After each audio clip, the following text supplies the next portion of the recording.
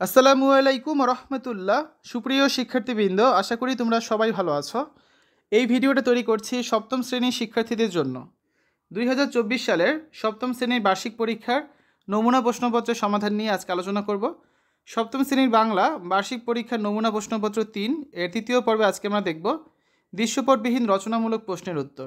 সময় তিন ঘণ্টা, পূর্ণমান একশো। শিক্ষার্থীরা, আমরা এই নমুনা প্রশ্নপত্র তৈরি করেছি তোমাদের সপ্তম শ্রেণির বাংলা বইয়ের তৃতীয় অধ্যায়। অর্থ বুঝে বাক্য লিখে এই অধ্যায়টি নিয়ে। তোমরা যারা এখনও অন্যান্য বিষয়ের ভিডিওগুলো দেখোনি, তারা আমাদের চ্যানেলের প্লেলিস্ট অপশন থেকে ঘুরে আসতে পারো। সেখানে তোমরা সপ্তম শ্রেণির প্রত্যেকটা বিষয়ের জন্যই আলাদা আলাদা করে প্লেলিস্ট পেয়ে যাচ্ছ। আর এই প্লেলিস্টটা থেকে তোমরা কিন্তু সপ্তম শ্রেণির বার্ষিক পরীক্ষার সাজেশনগুলো দেখে নিতে পারবে, ঠিক আছে? দৃশ্যপটবিহীন রচনামূলক প্রশ্ন। প্রশ্ন এক, নিচের অনুচ্ছেদ থেকে বিভিন্ন ধরনের বাক্য যাচাই করো। আমাদের আমের বাগান মুকুলে মুকুলে ভরে গেছে, বাবা। এবার কি গাছে অনেক আম ফলবে? ফিরে এসো, বিদেশে আর কতদিন থাকবে? আমাদের ফুলের বাগান মাধবীলতা আর গিরিমল্লিকে ভরে গেছে। প্রজাপতি ঝাঁক বেঁধে উড়ে বেড়াচ্ছে। আহ, কি চমৎকার লাগছে দেখতে। খুব মনে পড়ছে তোমাকে, বাবা। ক নাম্বার? বিবৃতিবাচক বাক্য। আমাদের আমের বাগান মুকুলে মুকুলে ভরে গেছে। খ? প্রশ্নবাচক বাক্য। বাবা, এবার কি গাছে অনেক আম ফলবে? গ? অনুজ্ঞাবাচক বাক্য। ফিরে এসো, বিদেশে আর কতদিন থাকবে? ঘ?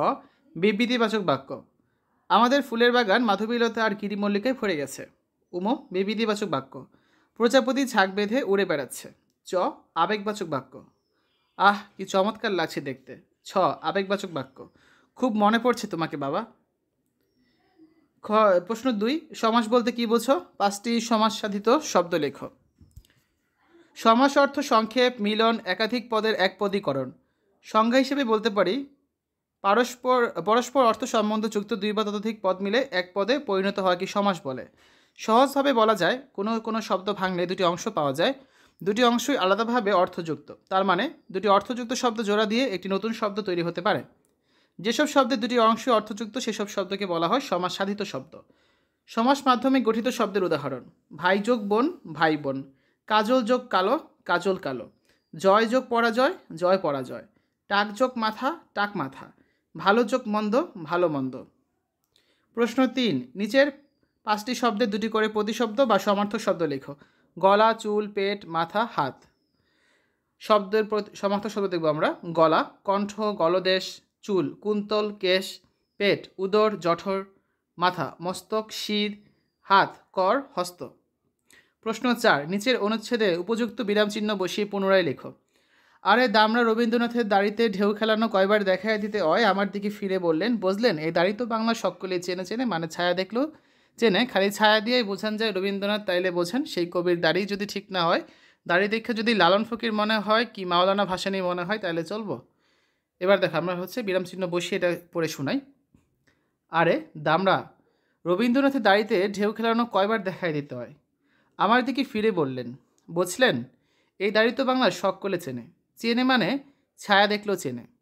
খালি ছায়া দিয়েই বোঝান যায় রবীন্দ্রনাথ। তাইলে বোঝেন, সেই কবির দাড়ি যদি ঠিক না হয়, দাড়ি দেখে যদি লালন ফকির মনে হয় কি মাওলানা ভাসানি মনে হয়, তাইলে চলবো? প্রশ্ন পাঁচ, নিচের কোনটি কোন ধরনের বাক্য এবং তার কারণ কি তা লেখো। আদিত্য চিঠি লেখে, তুমি যদি আসো তবে আমি যাব। তুমি পড়ুয়া ছেলে কিন্তু একটু বেশি চটপটে। নবীন খালি হাতে কোথায় যাচ্ছে? যেমন তুখর শিক্ষক, তেমন চৌকস ছাত্র। তার সময় উত্তর দেখি।